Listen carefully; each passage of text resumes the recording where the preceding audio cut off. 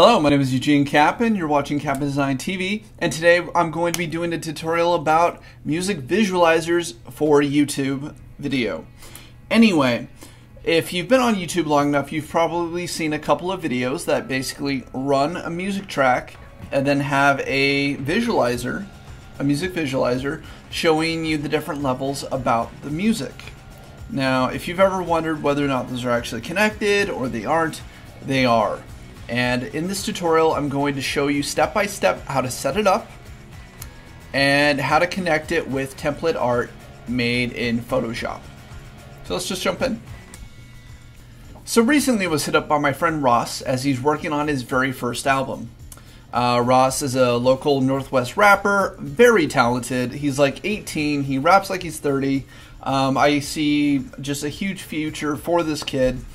Anyway, he was like, Eugene, I need help getting my music onto YouTube. How do I do that? I said, hey, you know, we'll we'll set up a deal and I'll I'll hook you up.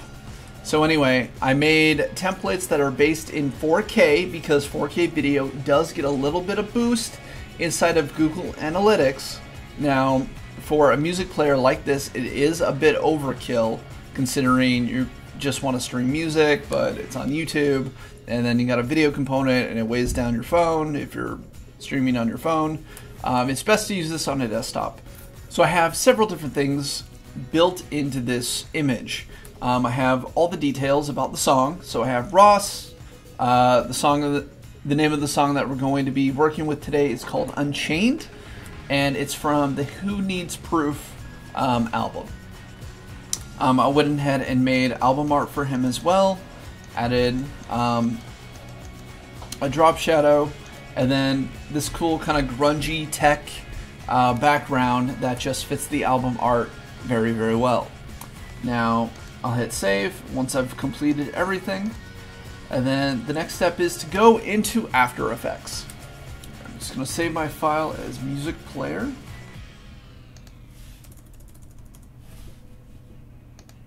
Uh, you name it whatever you want. I'm just going to name it music player. And then what I want to do next is bring in my template as a composition. So I'm going to go to File, I'm going to go to Import, File, and I'm going to find my template.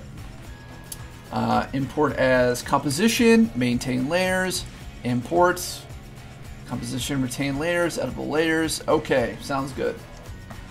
Now it's going to bring in everything as a template. Now the template's only 40 seconds long, you know, whatever. Uh, so I'm going to go to composition, composition settings. I'm going to move it up to five minutes just for now. I mean, this is just temper. And if you look at the width and height, it's already set up for 4K because that was the size of the template I made in Photoshop. So the next thing I want to do is I want to grab all the layers and I'm going to extend them to the max and then I'm going to import my music. Now, file, import, file, Awesome. So once you have your music, just bring it onto your composition, let it go, and at the very bottom in your timeline, you'll see that the song is like a minute 40. And honestly, it's it's whatever your, your music is. So I'm going to go to the very end. Um, it's going to show me that in the corner on the composition, it's only a minute and 40 seconds and 16 frames. So what I'm going to go ahead and shrink the composition length to that size. So back to composition, composition settings, and let's see, 140, 16. Oh, cool. It's already pretty much set up. And okay, the next thing we need to do is to actually build the music visualizer, and we're going to be using an effect called Audio Spectrum. Now, to do that, you are going to need a solid layer, new, solid. And this gray is just fine. I'm going to call it audio spectrum.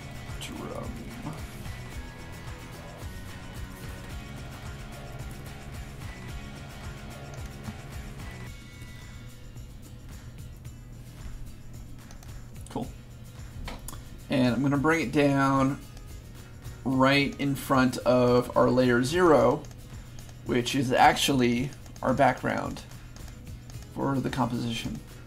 So with your audio spectrum layer selected, you're going to go to Effect, Generate, and then Audio Spectrum. And then all the details about your audio spectrum will show up in the effects control panel. Now to connect the layer with the actual music, you're going to go to audio layer, bring it down, and unchained. Now if we get really close, you can see it animating as we scrub through the timeline. Now, I think the height should be much higher. There we go. And I think it should be a little bit thicker. And I think there should be way more bands. Coolio. And I think it should just be at the bottom. So I'm going to bring the whole layer down, and then I'm going to grab the start point and the end points, and I'm going to bring them completely out to the edges. Now, the pink really doesn't go uh, with the channel art, so I'm going to turn it into a gray.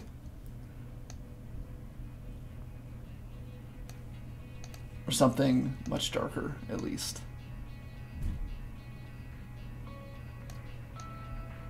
I guess that gray is just fine.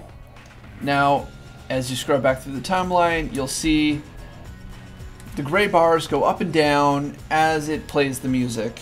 And when we render it out, it will play the music, it will have the um, audio spectrum playing to create this music visualization for your YouTube video. Anyway, that's all for this video. My name is Eugene Capon. This is Capon Design TV. If you learned something, hit the like button. If you have a comment or question or just feel like saying hi, either good or bad, go ahead and leave a comment down below. And if you'd like to continue this journey of self exploration inside of After Effects or YouTube or video creation or motion design and graphics or VR, go ahead and hit that subscribe button. And I'll see you in the next video. Take it easy. Look way back just a few days old. Vision was that smile was gold. Beginning that's to be told, so watch